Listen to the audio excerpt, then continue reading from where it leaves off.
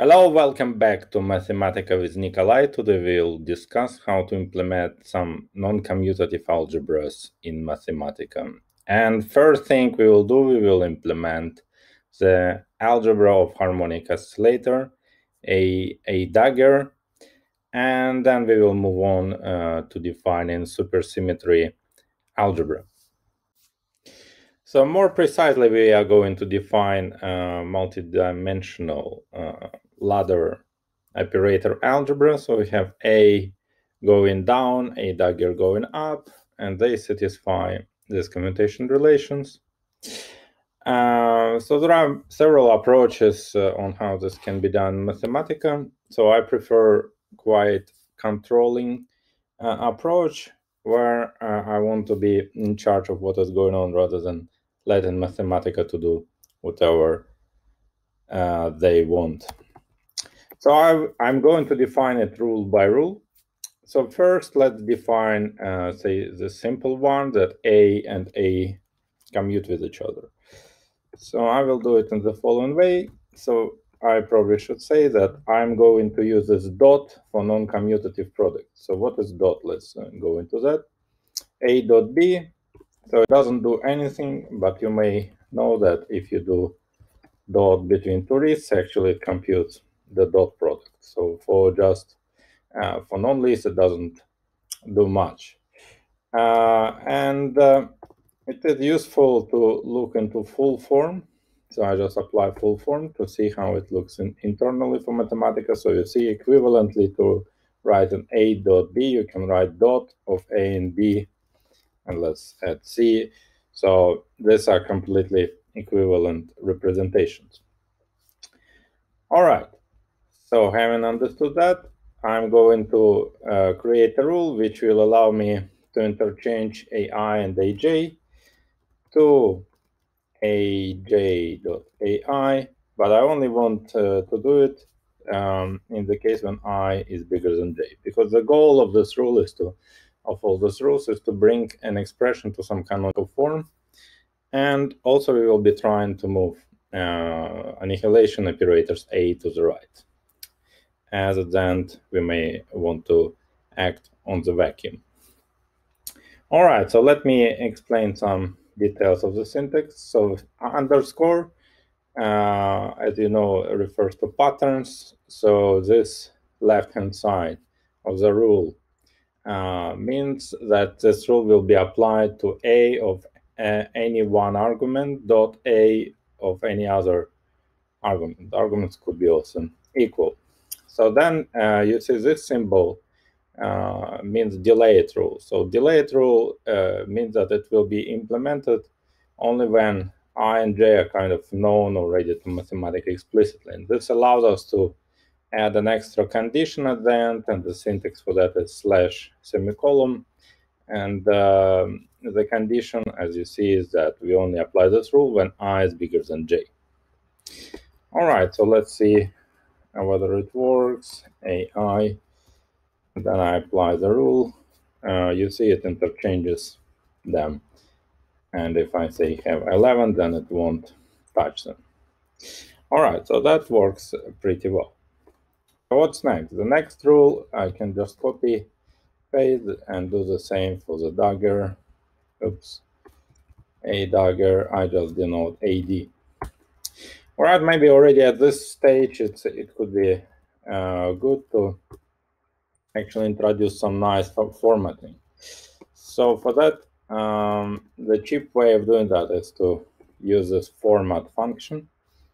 This uh, is just to make everything look nicer.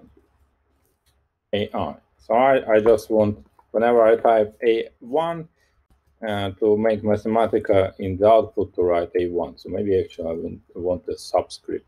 So, right, this is better. And I also want to define similar thing with Dagger, sub, uh, superscript. That's what we need. Uh, super. Okay, this is sub superscript. Voila. And then I add dagger. So as you remember, you can uh, type some uh, symbols using LaTeX, right? So that you press escape, then type your symbol in LaTeX, and then press escape again.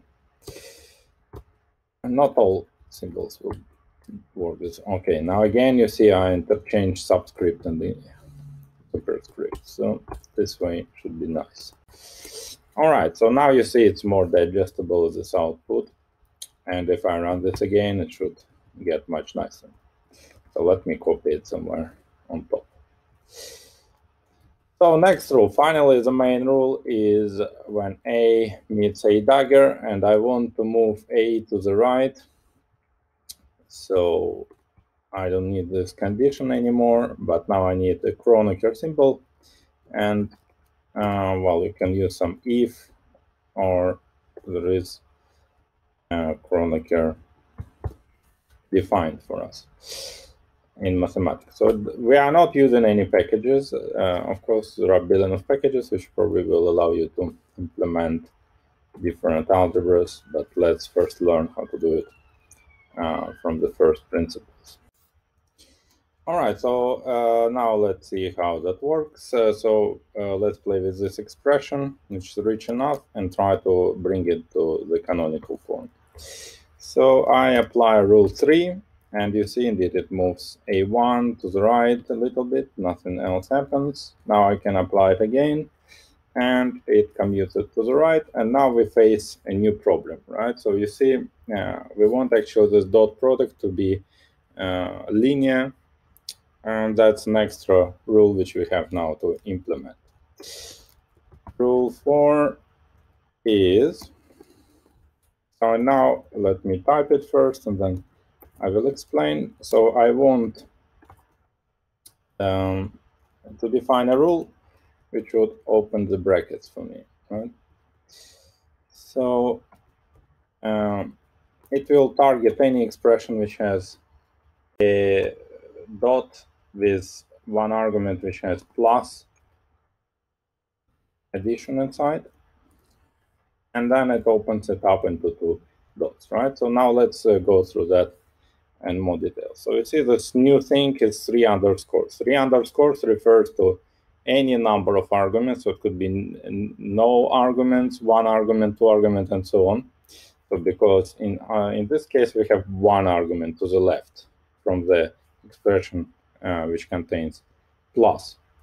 Uh, but it could be also in the very beginning, in this case, a node will be like empty set. So three underscores mean uh, any set of arguments include an empty set. And I have two of those, so either to the right or to the left. So this dot, uh, this pattern will match any expression which contains addition at any stage. And then the right-hand side, quite obvious, I just write the sum of dots. And remember that dot symbol is equivalent uh, to writing dot with several arguments. All right, so let's check this one. Uh, rule 4, and you see it nicely expands. So now we have another problem that this one here, we need to explain to Mathematica that numbers, they can be treated in a, in a simpler way, we can just remove them from under the dot. So I define rule number five, which tells that whenever you have okay, a number and uh, that introduces a new thing for us, um, uh, just pull this outside, right? This way. Uh, so what is this question mark uh, numeric q? So numeric q is just a test, uh, a function which returns either true or false. So for one, for two, it will be true, and then for r, it will be false, right? That's as simple as that. And you can construct your own test function, which is a true-false type, and then write it after the underscore, after the question mark. Uh, and uh, then Mathematica will first test whether this condition is satisfied. So you can also do it like we did before, uh, put uh, slash uh, semicolon and then do numeric q a1. Uh, but so it functions a little bit differently. And in this case, that's a bit more preferable. because you don't want Mathematica to probably uh, parse the whole expression uh, and only then find that it's not applicable. So let's apply this rule. You see it works nicely. Um, what's next? So uh, another rule maybe which is useful to have is the following, that if we have any A, say here, I can say 5 times AD, and then it, it will block the whole process, right? Because this 5 will be on the way, so I want to get rid of this 5 now. So I just write a similar rule uh, like before with A2 inside. Right, so this rule 6 will target these situations. Rule 6. Okay, dokie.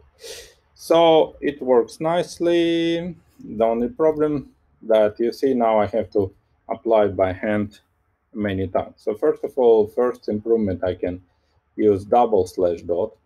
Double slash dot will just uh, repeatedly apply certain rule until uh, it is reasonable, until there are any changes created. Um, but this is not enough um, because, I mean, in principle, I have to apply all these rules. So it's better to just define some helper function, something which is easy to type. Uh, and I just apply all those rules inside this function. Rule 4, rule 5. Okay, sorry, it's a bit boring bit for you guys. Seven, I don't have seven yet, right? So this function will now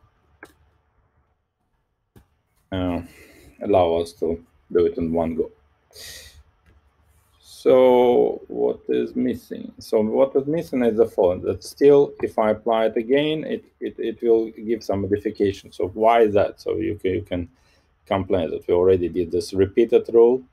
Uh, but the point is that actually it matters in which order you apply this rule. So after applying as many times as you want rule one and then rule two, you may want to apply rule one again.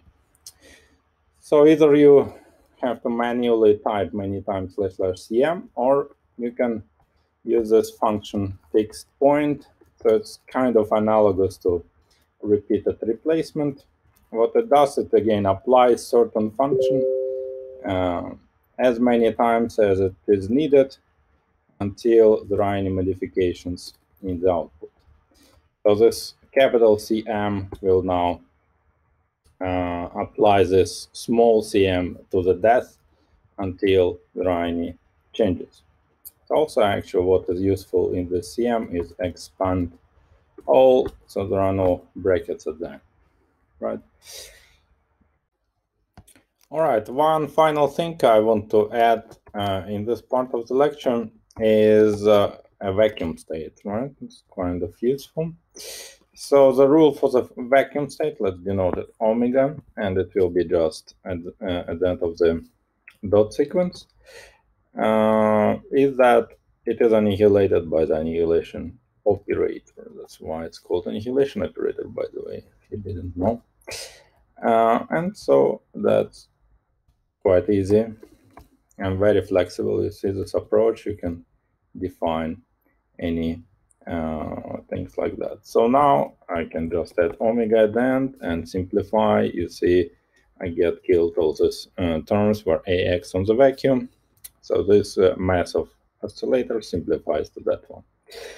All right, so in the second part, uh, I will now build uh, upon this approach uh, and use oscillator representation for some simple uh, supersymmetry algebra, which is also used as a part of the Lonti series uh, uh, by Costis. And he proposed me to do this little exercise for you. So the second part uh, of the lecture uh, is uh, made an association with the Lonti London Theory Institute, which uh, is a great uh, channel on YouTube which contains uh, lectures in theoretical physics by the leading experts on the topic, of course, including my own lecture. on integrability. And so now we will move on to defining supersymmetry algebra. So now we are ready to take our uh, knowledge to the next level and implement uh, um, n equals 4 superconformal symmetry in four dimensions. So for that, uh, we will have to define a super oscillator algebra.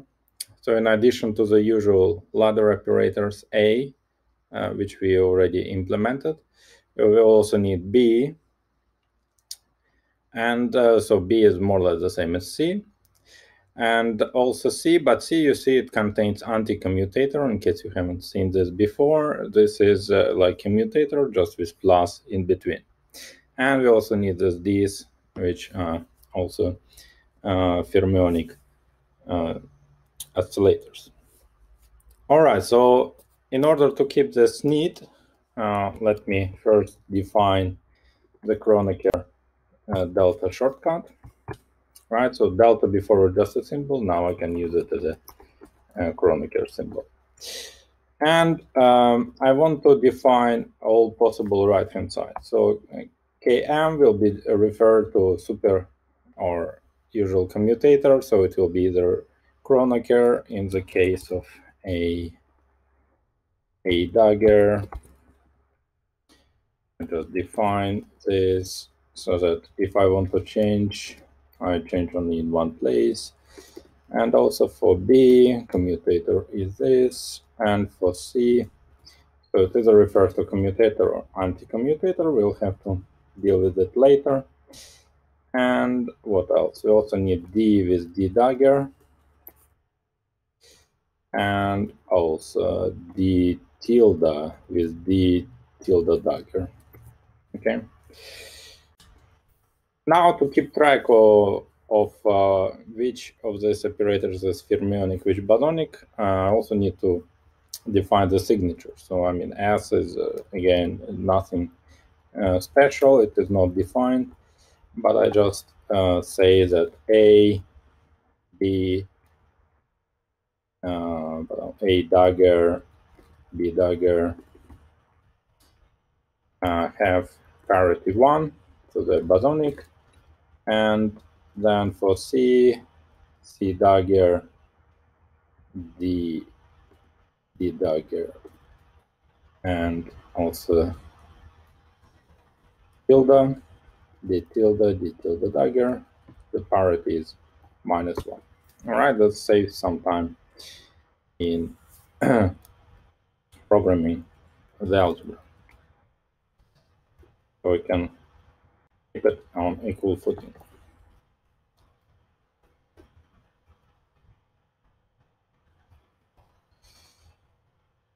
All right, what else we need? Uh, so new ingredient is that now we have a lot of these um, different operators, A, B, C, D. Uh, so the notion of the canonical form become more ambiguous. So we need to introduce some uh, weightings for different uh, operators so that Mathematica uh, knows in which order we order them. So let me introduce some weights will be used for ordering. So um, A will have weight B, uh, 1, B 2, so we know that like A goes before B uh, in the expressions, and we want Mathematica to reorder it until it's done. Right, and then for uh, the conjugate I define negative weights. So again, the goal is that all positive weights will go to the right, so annihilation will be at end. All right, so what else um, we need is probably relative parity. So we will use that, so it's better to define right now. So I want to define a function which basically tells if I have two bosonic, A1 is bosonic bosonic, then result is bosonic, bosonic fermionic, fermionic bosonic is fermionic, and fermionic fermionic is, um, sorry, That's not what I'm saying. I want actually the sign in a super commutator. So between uh, boson, boson, boson, fermion is plus and fermion, fermion is minus one. So if S of A1, that's our parity defined before, is minus one, and S of A2 is minus one, then it is minus one, otherwise it's one. All right, and finally, so I, I will I want to distinguish different um, to test whether some quantity is an operator or a scalar, right? And uh, we already have this S defined. So basically, uh, for each operator, we have the corresponding S. So I just define this as absolute value of S is 1 then it is an operator. So in other words, a operator of A is operator, and AA is a operator. No, it's not operator. Why it's not an operator? Because it doesn't have argument. So now it is an argument uh, operator. If I have triple A, it's, it's false, right? So what is this triple equal equal equal? So it's only it, it always returns either false or true.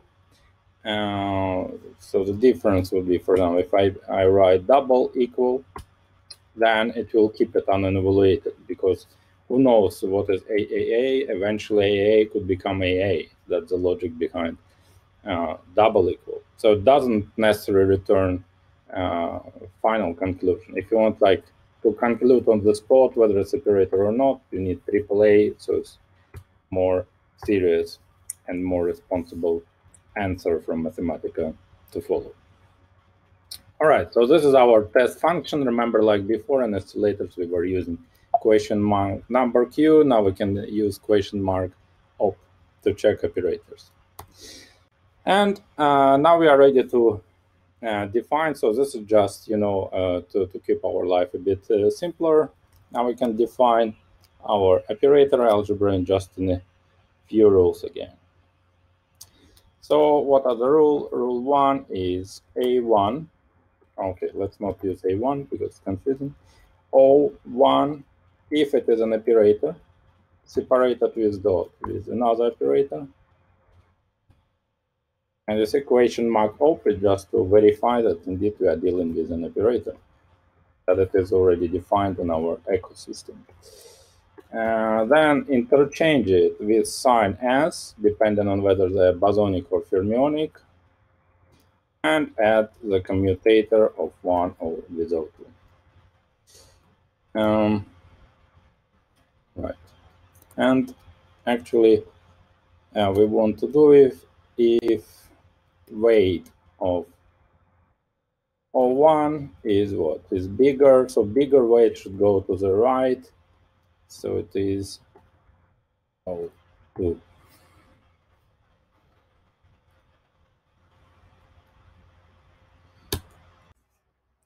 All right, I just realized that uh, I, I made the wrong uh, uh, definition. So I need here see arguments as well, right? Because my uh, operator op will come with the index uh, for A and B.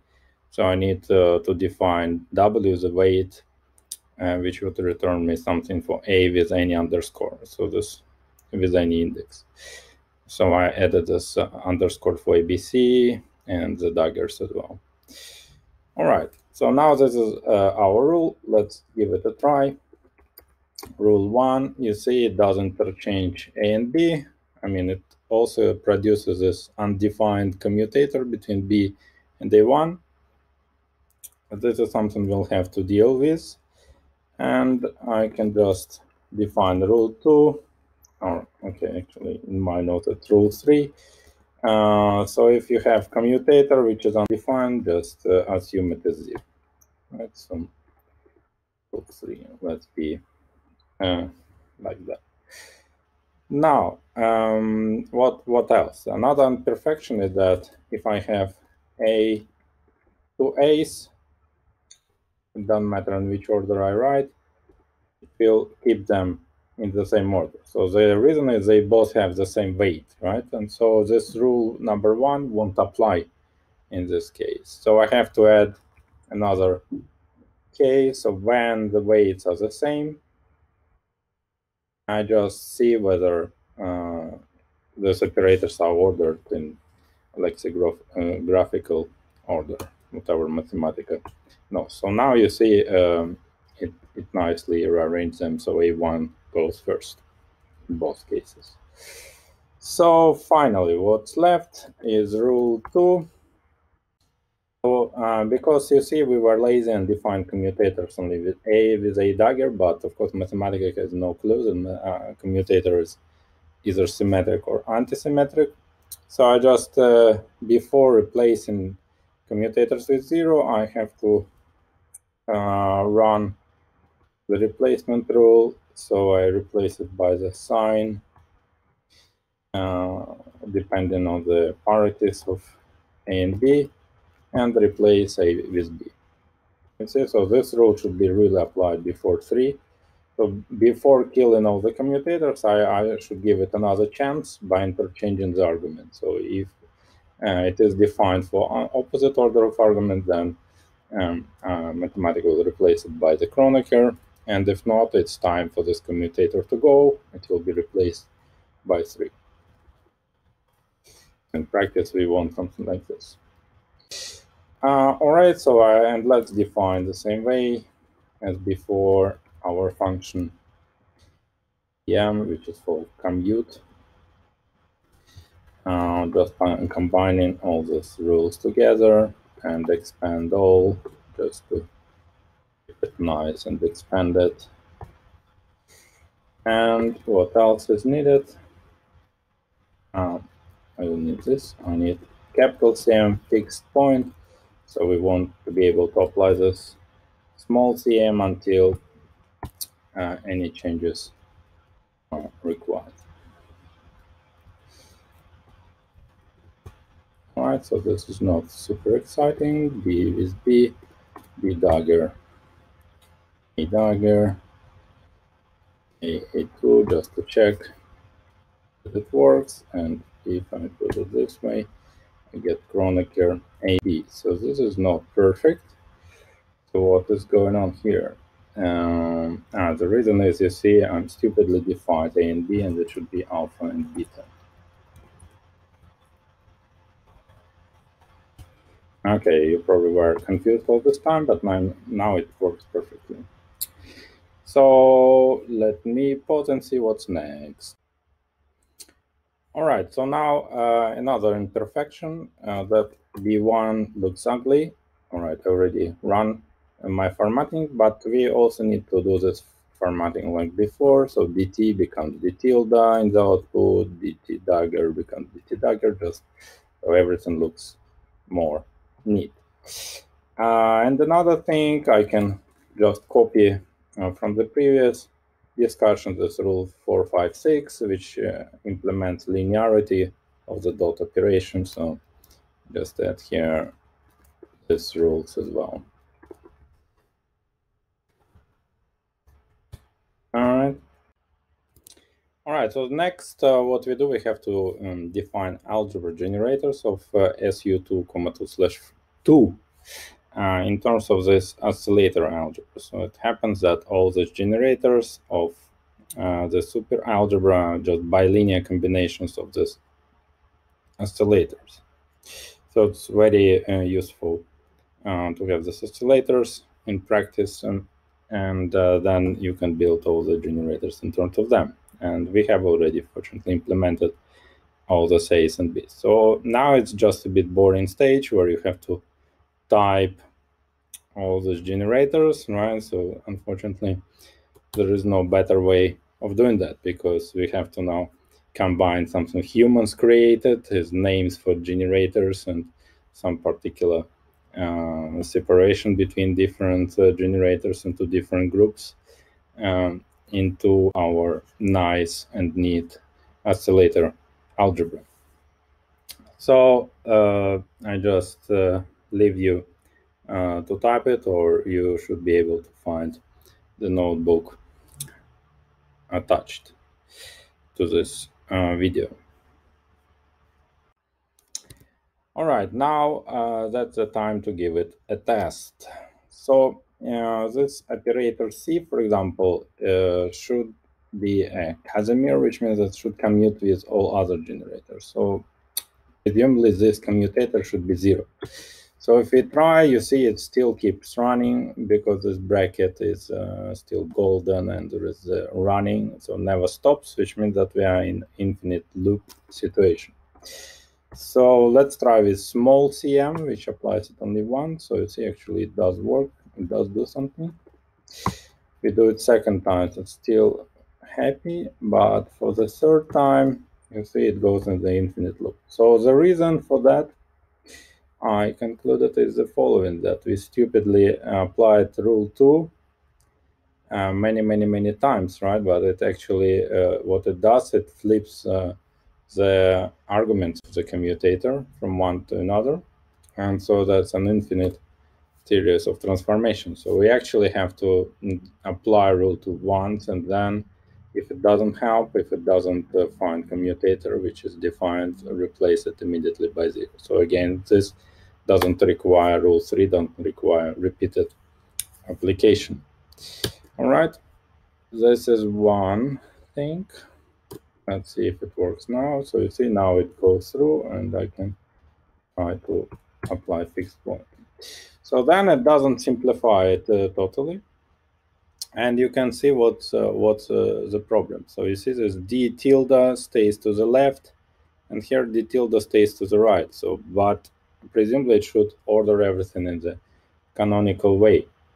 So, and uh, the mistake should be somewhere in order into in the canonical way, which is rule one. And rule one, you see it uses this weight function. And also it uses this uh, operator function. So, and the mistake actually is an operator function, the way it's defined, because I stupidly added arguments to this d's, right? So these, they don't have arguments. So d and the dagger and the tilde, that shouldn't have any uh, underscores here, Because we don't define. So now you see it works perfectly and we get zero for that. All right, so now uh, some more complicated test. There is also quadratic Casimir, so let's uh, give it a go.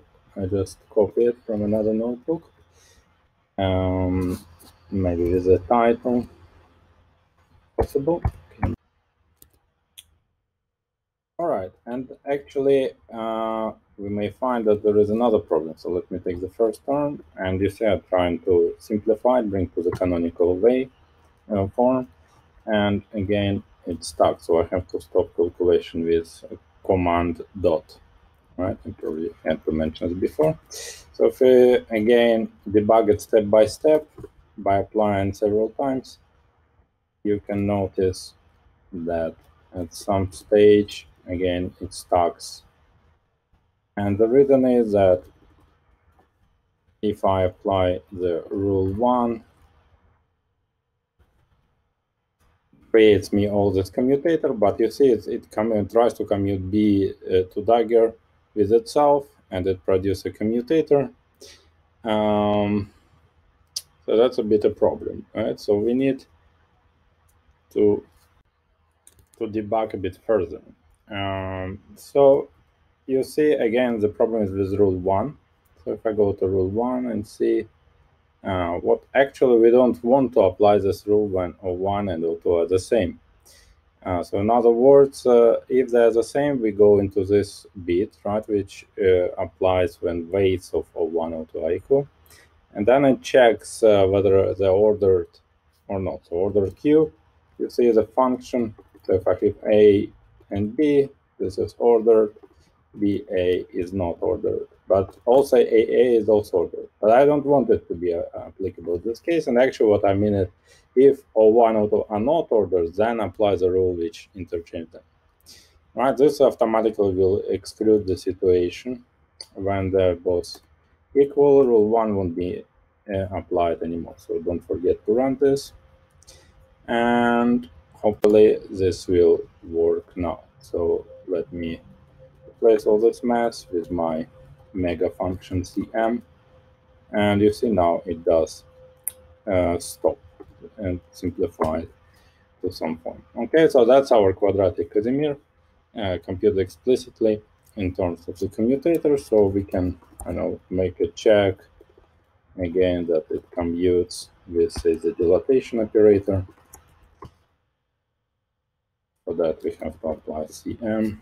Okay, and does give zero. Uh, so perfect. So now we have our algebra hopefully defined. We may want to make a few further tests. Um, so we want to see some commutation relations. So let me just uh, uh, show you some of them. So let's now check that all other generators also commute with um, the Casimir, the quadratic Casimir. So for that, I made a list of all generators possible. Um, right, just combine them together with join uh, function. So you know, join will combine two lists together. In case you haven't seen that.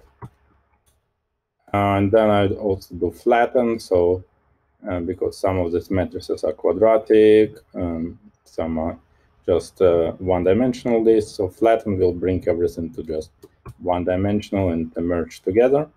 So that's all my generators. Some of them are actually linearly dependent, but in total 39. Uh, and now I can do A.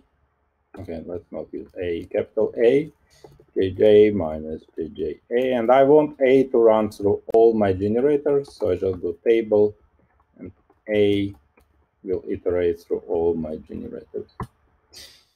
Okay, and then uh, inside I want to use my mega function. So let's uh, hope it will work. All right, so it doesn't commute with all of them. Uh,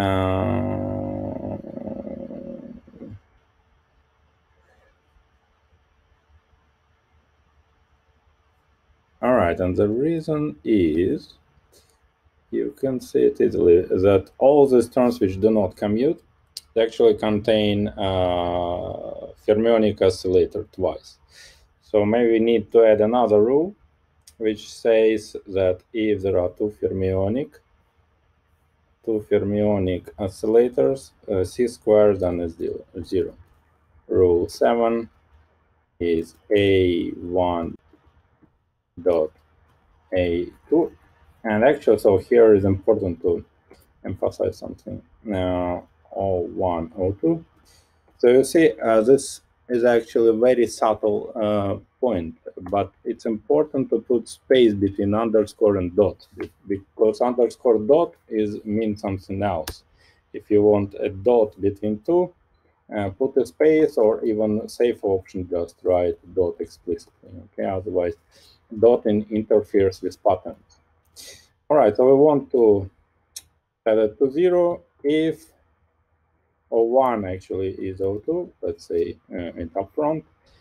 And then S of O1 is minus 1. Right? So that will be our rule, rule 7. So let's not play with fine, let's apply it once. Okay, let's see now. Let's hope it won't corrupt. I'm a bit improvising now, so I'm in danger. So fingers crossed, I don't need to re-record. Okay, perfect. See, so now everything commutes perfect. All right, now again, I didn't test this part, uh, uh, but we can start uh, looking into different commutators just to check uh, the commutation relation with textbooks. So Q with S is particularly uh, complicated. And you see, okay, I just uh, evaluate, simplify with my function, and left-hand side cancels right-hand side perfectly.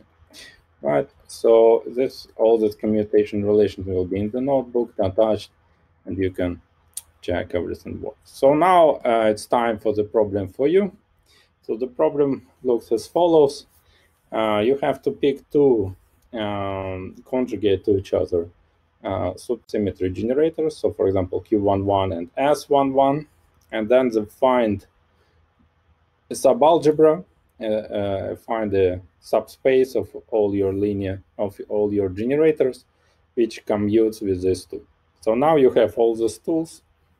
It's really straightforward. You just have to form linear combination, uh, the most general linear combination, and require that commutator with this linear combination is zero. And that in this particular case, you should get this result. And that's uh, uh, links uh, nicely to the uh, exercise uh, sheet of the main lecture of Lonti this week. so I hope you found this lecture useful. And uh, if you have further suggestions uh, for type of calculations you want to see how to do in Mathematica, let me know on uh, my email, which will appear now. All right, thank you, subscribe, and see you later.